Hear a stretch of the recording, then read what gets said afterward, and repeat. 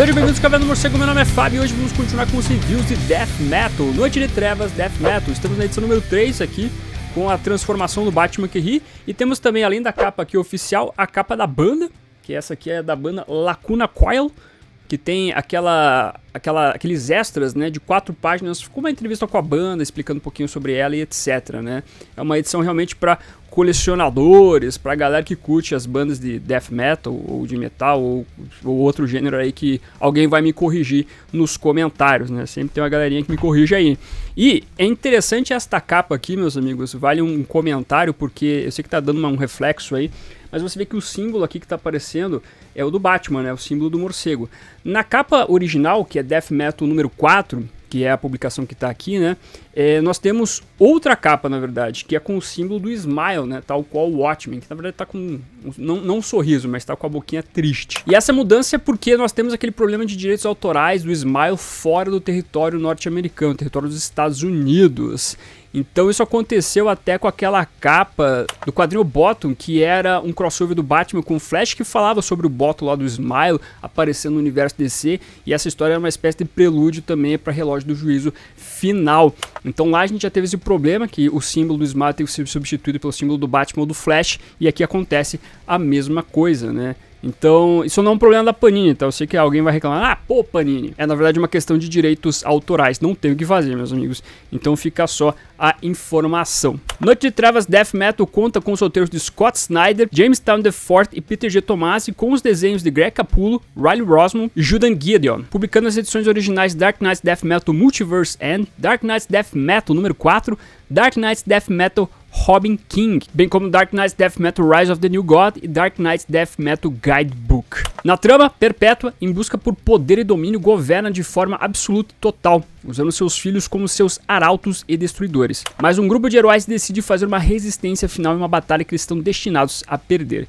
Enquanto isso, Mulher Maravilha, Batman e Superman estão presos em um mundo de pesadelos. Eles precisarão enfrentar seus inimigos mais cruéis mais uma vez se quiserem cumprir sua missão e trazer de volta um poder capaz de deter o Cavaleiro das Trevas. Entre tantos conflitos, Perpétuo terá que fazer sua escolha e ver que a batalha contra o Batman que poderá culminar na destruição do último dos planetas o seu próprio. Já deu sua curtidinha para ajudar esse vídeo a subir nesse YouTube de meu Deus, bem como se você é novo novo, aproveite e se inscreva porque todo dia tem vídeo aqui no canal e aqui é o melhor lugar para você ficar muito bem informado sobre o universo do morcego. Também dá uma olhadinha no comentário fixado, o primeiro aqui embaixo, porque tem muitos quadrinhos com desconto e quadrinhos com desconto que podem caber no seu bolso. Então sempre é bom dar uma olhadinha porque eu estou sempre atualizando esta listagem. E se você for fazer suas compras na Amazon, loja da Panini, Magazine Luiza, Comics Shop ou qualquer outra loja na internet, use um dos links que estão aparecendo na sua tela que dessa maneira você me ajuda a manter esse projeto de debate ativo. Muito obrigado. É nessa edição, meus amigos, que eu vou pontuar que tem algumas coisas que eu não curto envolvendo Death Metal. Até então, conforme a gente foi vendo aqui os meus reviews, as minhas resenhas,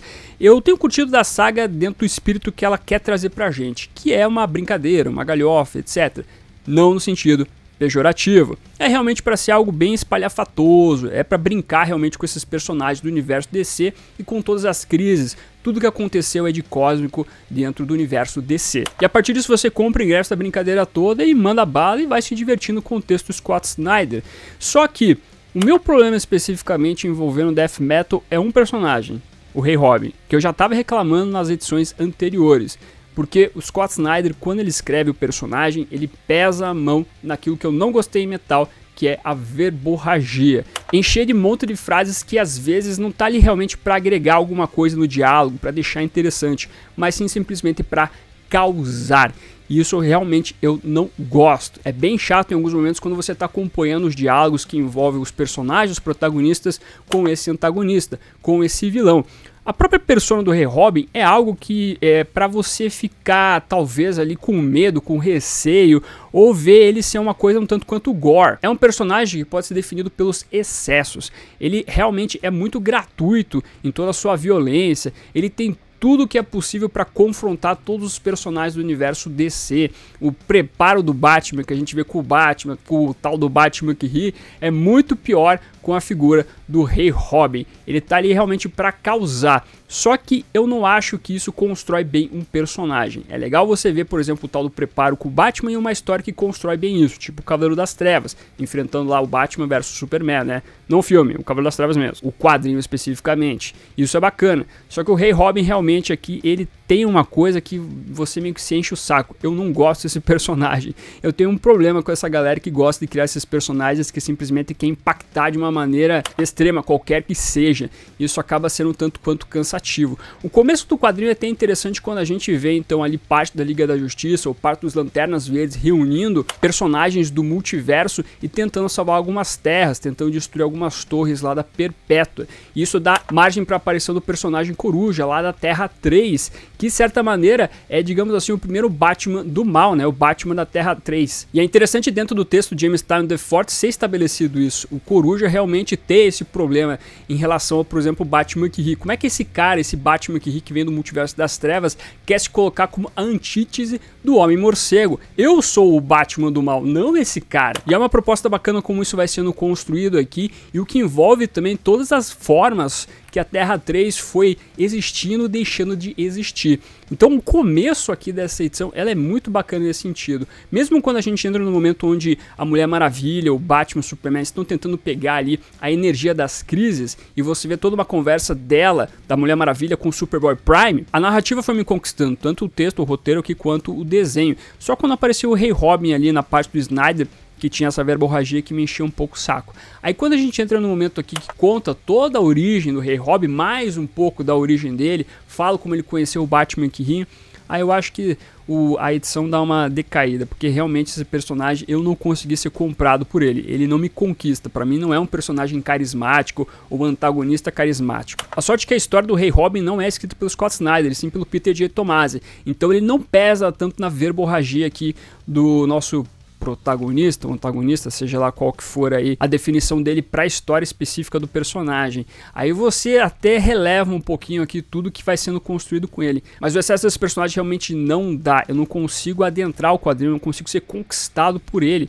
eu realmente acabo ficando bem alheio a tudo que está acontecendo e vou só vendo ali as figurinhas, lendo o texto e falando, tá bom, personagem Rei Robin, já entendi o seu propósito, bora lá então passar para a próxima história. E é interessante que esse Rei Robin ele acaba meio que substituindo a figura do Batman que O Batman que virou outro personagem aqui no Death Metal, virou o cavaleiro mais denso.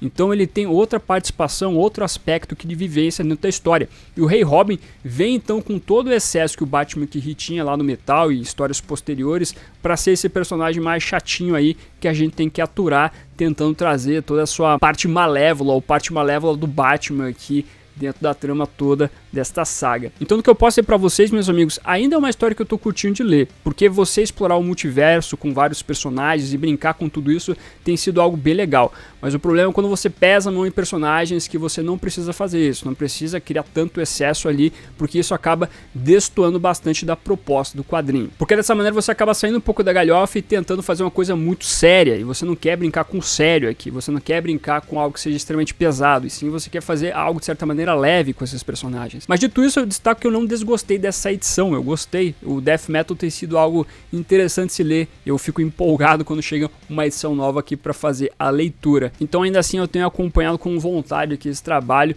para ver todos os passos que vão levar ao novo multiverso da DC. Você já leu a terceira edição, gostou? Tem problemas com o Rei Robin? Não tem, isso é coisa só da minha cabeça? Traga os comentários aqui embaixo, quero saber tudo de você. Me aproveita, deixa o humor, seguinho para simbolizar que você ficou até o final do vídeo. Muito obrigado. Curta, compartilhe, se inscreva no canal se você é novo ou nova, marque o sininho para ser notificado nos vídeos. Eu estou ficando por aqui. Como sempre, no final do vídeo nós temos os membros do canal, a galerinha que mantém este canalzinho aqui de pé. Agradeço demais a colaboração de vocês, bem como de você que faz suas compras através dos links da Panini, Amazon, Magazine Luiza, Submarino e assim por diante. Meu muito obrigado como sempre, e se você está chegando agora e quiser ajudar o canal, os links estarão na descrição. Aproveita que você está aí, meu amiguinho, dá uma olhadinha no vídeo que está aparecendo agora. É um vídeo que vale o seu clique. Agradeço a sua companhia, até a próxima e fui.